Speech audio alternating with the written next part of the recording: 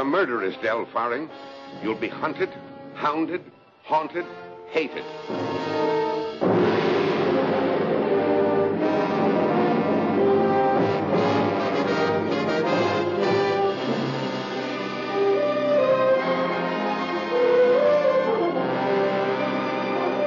One of the most challenging mysteries ever to thrill you.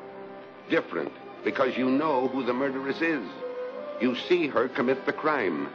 You see an innocent man condemned to pay for that crime. The only solution of which is locked in the shocked mind of his own child. The only eyewitness.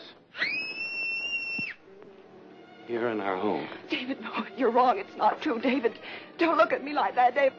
I had this gun in my hand. I was walking toward her. She picked up something, and I guess I pulled the trigger when she hit me. You've taken everything I ever wanted, everything. And then tonight. Oh, Del. You didn't need Crane.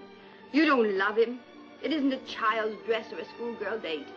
It's the whole rest of my life you want this time. My own husband.